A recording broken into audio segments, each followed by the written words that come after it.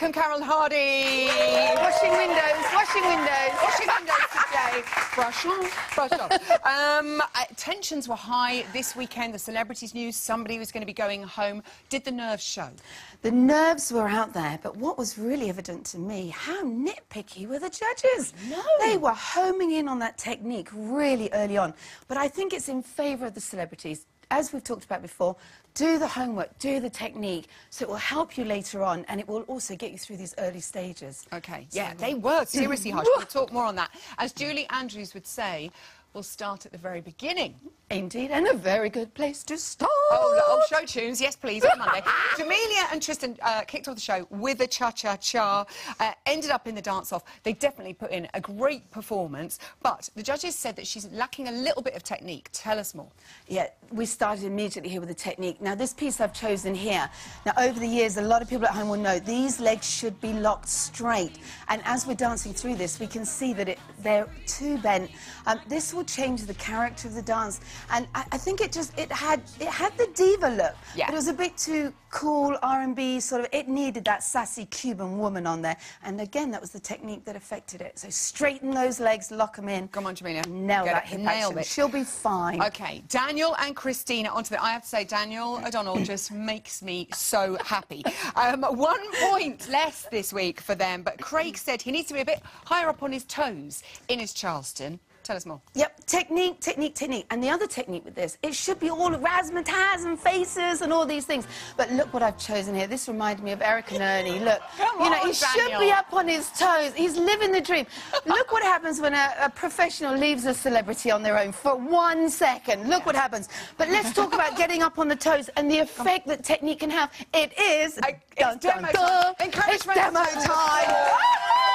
And Right. Just very quickly, Yeah. Charleston, you do need to be up on those Look at toes. that. It I love it. creates a real, it creates that bouncy effect and gives it life and gives it character.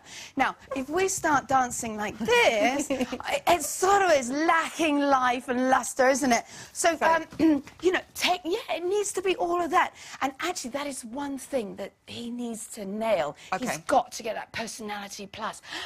Of Even more so. Come even and see more me. so. Goodness do me. those you go. Daniel. There's an offer. right, Kirsty and Brendan did a salsa.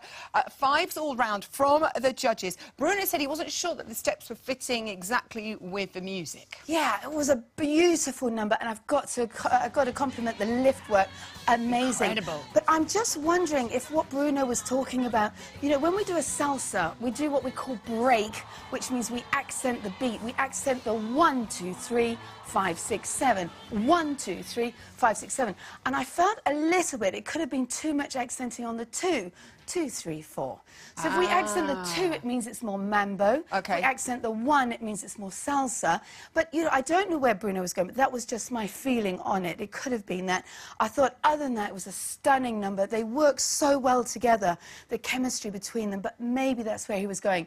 Okay. Rhythm. A regular occurrence of accented beats. You must be accenting the right beat. When she There does we that. go. Oh, Rhythm. We need to, oh, on a calendar. Okay, uh, Jay and Aliona, very impressive. Their waltz, this was just sumptuous. I, I got lost in this, 31 points. Judges didn't have anything negative to say about it at all, apart from Craig mentioning his thumb. Did you spot anything else that he needs to work on Yeah, here? there's, there's something that I would love him to home in on. If you look at what we've got here, it's what we call about using the standing leg. Something like a waltz, it really needs to drive across the floor. Now, technically, look at that beautiful heel lead, closing of the feet, beautiful top line. But if he uses the standing leg and drives a lot more, the whole picture will expand and open up, and it will be an even greater performance than it was. My little lollipop is still, he's still tucked away, as I said last week.